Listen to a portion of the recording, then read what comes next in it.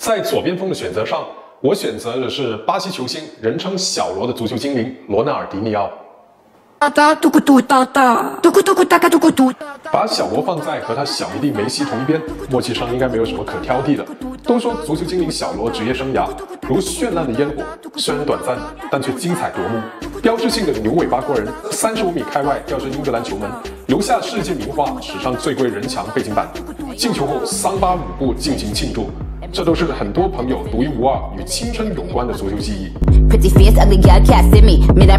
和足球精灵小罗相匹配，我的选择会是 Eden Capital 首都玉府。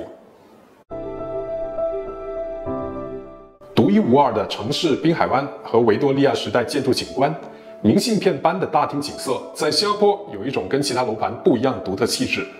国庆放烟火的时候，在大厅就能看到专属的烟火表演。我就是我，不一样的烟火。烟火短暂，但对新加坡的城市记忆却是永恒。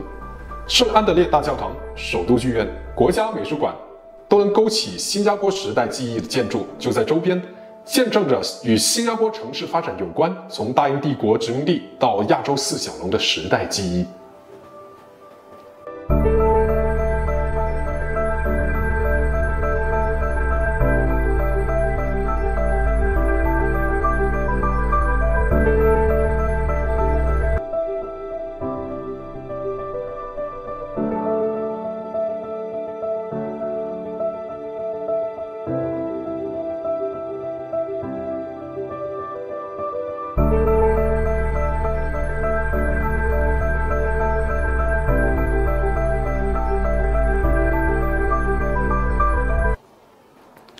左边位的位置上，我选择的是要才华有才华，要颜值，呃，还是有才华的小罗。那您将会选择谁呢？欢迎在评论区还有留言区告诉我。下一期呢，我将会为您介绍我最高颜值的右前卫。那我们下期节目再见吧。